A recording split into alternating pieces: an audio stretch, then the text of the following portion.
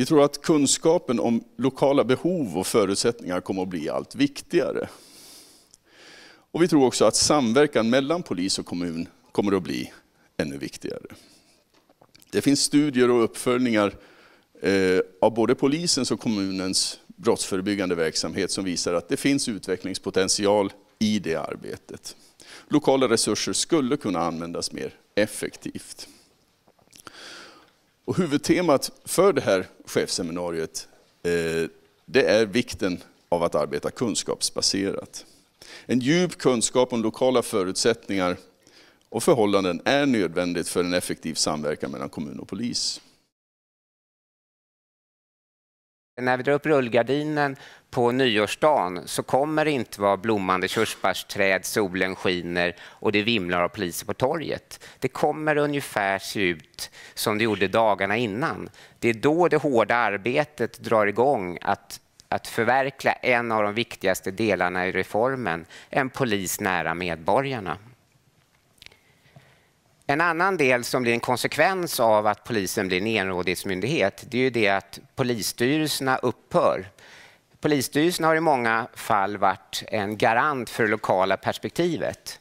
Och inte bara det, utan har ju också haft demokratisk insyn i den verksamhet som polisen bedriver. Och det är därför det är så viktigt att vi nu utvecklar tillsammans med kommunen och andra aktörer den lokala verksamheten det är otroligt viktigt att vi utvecklar den tillsammans och för polisens del så ska ambitionsnivån höjas. Det är verksamheten i lokalpolisområdet som ska utgöra basen i hela verksamheten. Och målet är att, att mer än hälften av eh, polisregionens verksamhet ska bedrivas i lokalpolisområdet. Att ett lokalpolisområde ska bestå av mellan 50 till 180 medarbetare och, eh, och det för att det ska finnas en bärkraftighet där vi ska bedriva mycket verksamhet ute i lokalpolisområdena. Man ska ha förmåga att ha ingripande verksamhet som huvudregel dygnet runt. Vi ska kunna bedriva långsiktigt brottsförebyggande ar arbete. Vi måste höja kunskapsnivån vad gäller eh, brottsförebyggande och trygghetsskapande arbete. Vi ska kunna jobba, ha en förmåga att jobba mot grov och organiserad brottslighet i ett lokalt perspektiv. Eh, vi ska ha utredningsverksamhet, det ska vara mängdbrott och ungdomsutredningar som ska bedrivas i lokalpolisområde. Och sen ska det givetvis finnas eh, receptionsverksamhet med, med pass och hittegods och så vidare. Det var ingen fullödig bild, men jag bara ville ge en bild av att, att chefen för lokalpolisområdet kommer och ska ha ett helhetsansvar för verksamheten. För chefen för lokalpolisområdet måste bli en nyckelspelare i den nya organisationen. Det är en viktig eh, chef och nyckelspelare för regionpolischefen för att vi ska kunna få en väl fungerande verksamhet längst ut i organisationen. Vi säger det att chefen för lokalpolisområdet, det är han eller hon som tecknar samverkansöverenskommelsen eh, med kommunen. Det är en viktig del. Idag är det normalt sett en högre chef som gör det. Men vi ser att ska man som chef för ett lokalpolisområde kunna ta ansvar ska man också vara den personen som tecknar överenskommelsen. En annan del som när vi har varit runt och rest oftast kommer synpunkter från kommunala företrädare. Man säger samverkan med polisen, ja det fungerar rätt så bra. Men man byter personer hela tiden i olika samverkansgrupper. Det saknas en kontinuitet. Den bilden får vi väldigt ofta när vi är ute och reser. Då har vi sagt att nu ska vi från polisens sida säkra kontinuiteten i samverkan med kommunerna. Det kommer mot varje kommun finnas en polisiär funktion som ska säkra kontinuiteten. Vi kallar den kommunpolis. Polisen ska vässa, vässa sig i samverkan med kommunen polisstyrelserna försvinner. Vad innebär det för oss då i kommunen? Jo, för kommunen innebär att det bästa sättet för oss att kunna ha synpunkter och kunna påverka polisens arbete är just genom att ha en riktigt bra samverkan. Och det är samma sak tvärtom. Det bästa sättet för polisen att kunna påverka och ha, ha synpunkter och inflytande i kommunens verksamhet är just att ha en väldigt bra samverkan.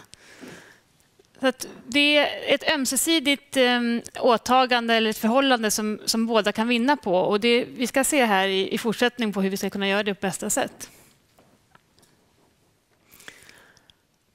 Polisen höjer sin ambitionsnivå, sa Johan.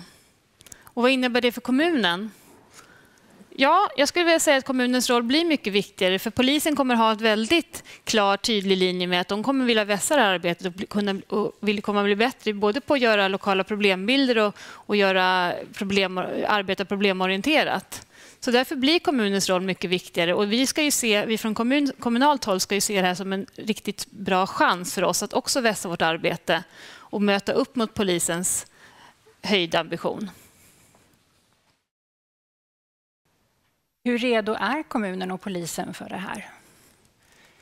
Hur rustade står kommun och polis inför 2015?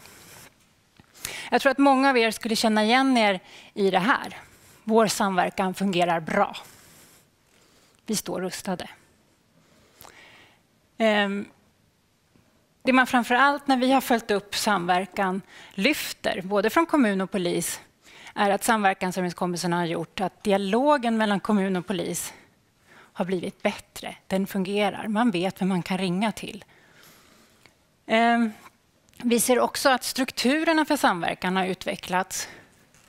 Det finns lokala råd på väldigt många platser. Det finns andra typer av grupper, sociala insatsgrupper, skola, socialtjänst, polis samarbetar i grupper. Skola, socialtjänst, polis, fritid samarbetar också. Samverkan i sig självt är ju inte ett brottsförebyggande arbete. Samverkan är ju inte ett mål. Samverkan ska ju vara ett verktyg för att kommun och polis tillsammans ska kunna lösa lokala problem. Och I de uppföljningar som Brå har gjort så kan det brottsförebyggande arbetet bli bättre. Det vi ser det är att Visserligen har kartläggningarna utvecklats. Kommun och polis gör dem i högre utsträckning tillsammans nu med hjälp av, utifrån samverkansöverenskommelserna. Men det är väldigt sällan som datan analyseras utifrån teorier kring varför brott sker. Och utan en sån analys så blir, får arbetet ofta inte så tydliga eller avgränsade mål. Man pratar ganska ofta om att minska brottsligheten, öka tryggheten, minska att antalet ungdomar begår brott. Men det, det, är fortfarande väldigt stora, vida mål för arbetet som är väldigt svåra att få grepp om när man ska följa upp. Och I Brås uppföljningar så ser vi att man på lokal nivå har gjort fler uppföljningar nu än tidigare.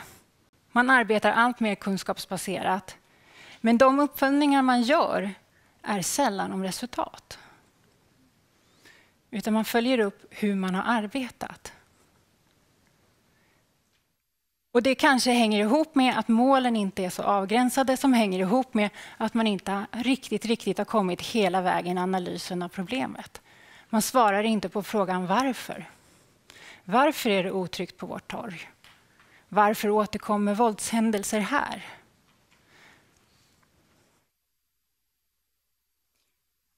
Så det vi vill säga med det här seminariet, det är att både kommun och polis behöver stå bättre rustade inför 2015. Att mer systematiskt arbeta utifrån lokal kunskap, arbeta kunskapsbaserat. Eller som en del säger, evidensbaserat. Att det handlar inte om att man har otrygghet som ska man ropa på polis utan man måste faktiskt fråga, ställa sig frågan varför har vi otryggt här? Beror det på att det är för få poliser eller beror det på andra saker? Beror det på belysningen? Beror det på fel butiker? Beror det på att fel människor rör sig där? Eller att en speciell typ av människor rör sig där i speciella tidpunkter? Så att ställ er hela tiden frågan varför har vi så här? Och vad kan vi göra åt det? Vi inledde ju den här timmarna med att konstatera att samverkan kommer att bli bästa sättet att påverka polis och kommun. Bästa sättet för er att påverka varandra. Och att samverkan behöver utgå från en analys av lokala problem och lärdomar. Det känns som att det har varit ett återkommande ämne, tema.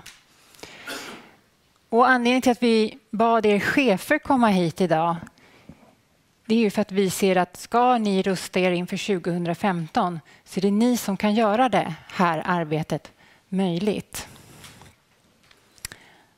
Ja, precis. Det är ni som sitter i ledningsposition, både från polis och kommunen, som kan ge rätt mandat och rätt resurser till de som ska faktiskt göra det här ganska svåra arbetet, att göra riktiga kartläggningar och analysera problemen och sätta in rätt åtgärder. Och det är ni som sitter som chefer som, kan faktiskt, som behöver den här kunskapen för att kunna eh, förstå att det behövs, den, här, den kunskapen behövs ute i era led och, kunskapen, och ni behöver tillsätta rätt resurser för att ni ska kunna genomföra arbetet på ett bra sätt.